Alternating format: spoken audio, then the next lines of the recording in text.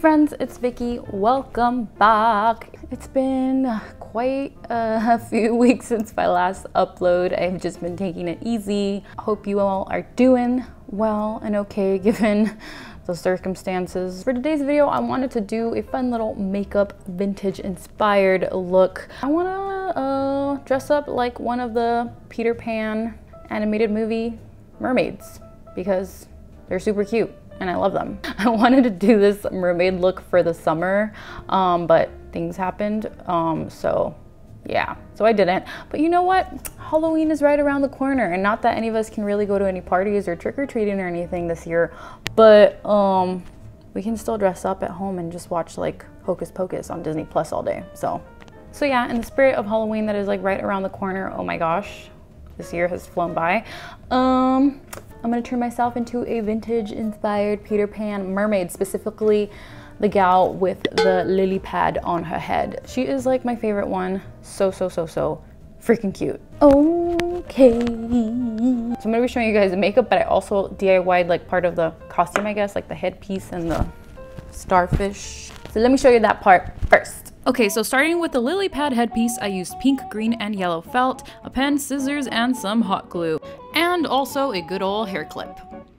Starting with the green felt, I took my pen and lightly traced out a green circle, which I then cut out. And I also cut out from that circle a triangle to mimic the shape of most lily pads because they have that kind of slit on them. And from the pink felt, I traced out a bunch of leaf or teardrop shapes, which I also cut out. I don't know how many of these I did. I just did a bunch until it formed like a nice full flower on top of my lily pad. Doop, doop, doop, petals everywhere. Then once I was done cutting, I removed those and glued them all back in place. Okay, almost done. Next, to add a little pop of color and detail, I took some yellow felt and cut out a bunch of little thin strips from that, and I glued them on to the center of the flower. And this was just to mimic the stamen, I think it's called. I don't know, I'm not a botanist, so that thing that sits at the middle of the flowers. Gave it a little trim, and then I was ready to add the clip to the back. I glued it on, and then I cut out a green circle out of felt, and this was just to secure it onto place, just to make sure it doesn't like fly off or anything. Added some more glue to that, and yeah. And there you have it, a lily pad headpiece. Next, it was time for the booby starfish. That's what we're gonna call this now, booby starfish. The, to make the starfish bra, oh my god, someone come take me away from this microphone. I took two paper plates and I traced out some stars with my pen and I cut those babies out. You can obviously always make this out of something much more durable, but I mean, for me, I just wanted it to be a really cheap and easy like DIY. So yeah, this is my method. Once I had my two stars cut out, I took some orange and red paint. I mixed those colors together to get a nice starfishy color, and then I painted my starfish I let the paint dry out for a bit and then I took some yellow paint and I added dots all over the starfish to add some dimension and some extra texture just for an like just for some more pop. And I wasn't gonna wear these just like this, no no siree. I got a fishnet from the Dollar Tree which I tied and tucked into my strapless bra. So yeah, I kind of just took the whole fishnet, folded it, and tied it from the back. Uh, as you can see there. Tuck the top into my bra like I said, and then I use tape to stick these on, but you can obviously use something more sturdy like Velcro if you're gonna go out with this, or even like, I would even probably like stitch these onto the net if you could. Okay, now to complete the look with the hair and makeup. I already did my foundation off camera, so I'm just gonna go straight into the eyes. I'm a little bit tan, tan right now.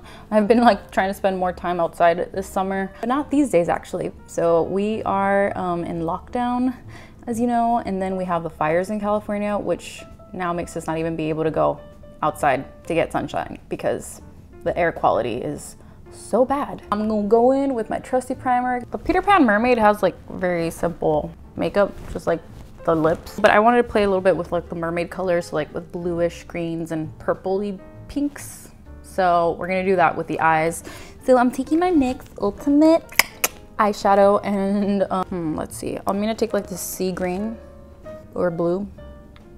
green, blue, and apply that all over my lid. Actually, this wasn't even the brush I wanted to use.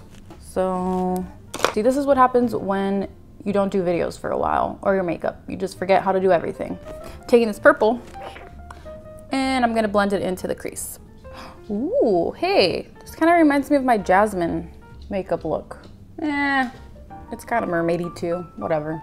As you can see there, it's like nice and iridescent, pretty looking. Is iridescent the right word? No, like gradient-y. Now I'm gonna take my J-Cat glitter in Mystic Wave, very fitting, which is like a bluish glitter.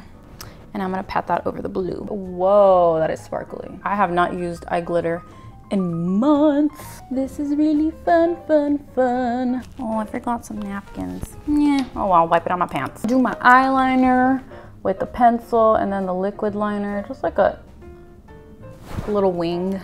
Nothing too, too cray cray because, well, I already have quite a bit going on. Do some liner at the bottom. Maybe I'll do a little bit of liner in the waterline just to dramatize it a bit. All right, finally just conceal because, uh, yeah. Oh, hey, I forgot to do my eyebrows. Huh, see? I'm telling you, it's been too long. I'm like forgetting the process or like my routine, the way I do my makeup. Yeah, it's fine, whatever. At least I remembered.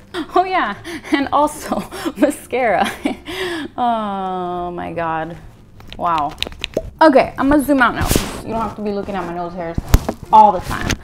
There we go. Tour and, um, ooh, contour and highlight just to bring some more color back into my face. Um, and yeah. For the lips, I am going to, um, what am I gonna do? I'm gonna take the Besame Cosmetics Water Lily Blossom Red, very fitting. Um, that was based off of the Peter Pan movie, so they based their collection off of that film.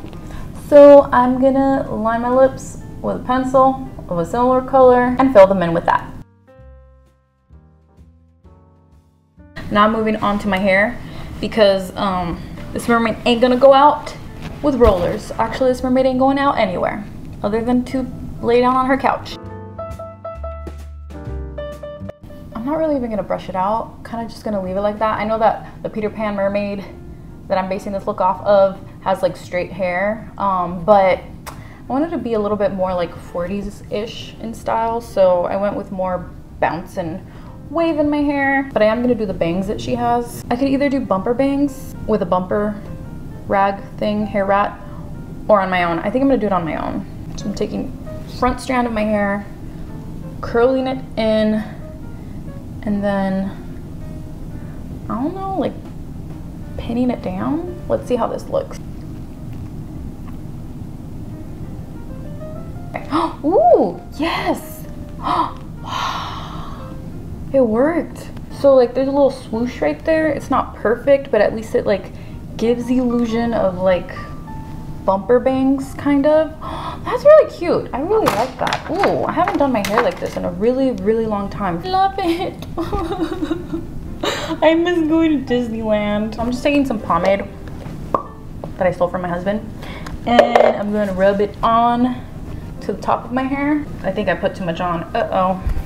Oh well. And brush just the top half down to make it more flat so my hair won't look too, too le poofy. Okay, now all that is really left to do is just put on my little accessories that I DIY'd. So my lily pad, I'm just gonna clip it on to the left side.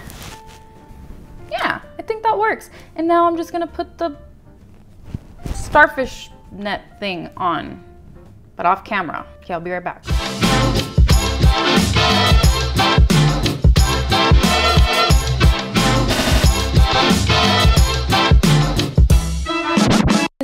Final look.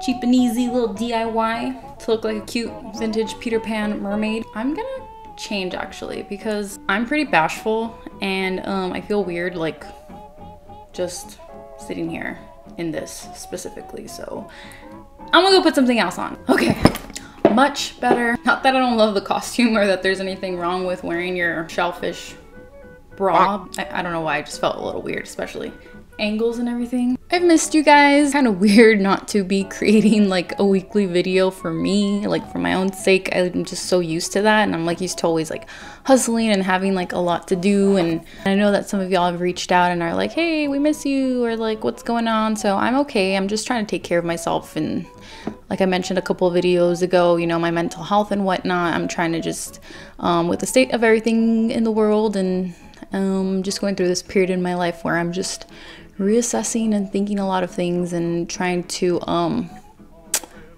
better myself. So, yeah, I'm just taking my time, which means probably a little less time here, but still have videos planned. I'm not I'm not leaving. As always, I want to thank you guys so so much for your love and support. If there's anything that I could do for you, if I can pray for you um, in any way, I know that a lot of us are struggling so much more than ever right now. So if there's anything that you would like for me to pray for for you, like you can let me know down below, or you can always also personally message me on Instagram if you'd like. Um, I feel like it's the least that I can do um, for folks. So yeah, I'd be happy to include you in my prayers and, and yeah, times are hard. Praying for each other is the least that we can do. Or actually, it's a big thing we can do. So, as always, I'm sending you guys a really, really big virtual hug. Remember that I love you. I love you. I do. And yeah, I'll be seeing you guys in my next video. Bye.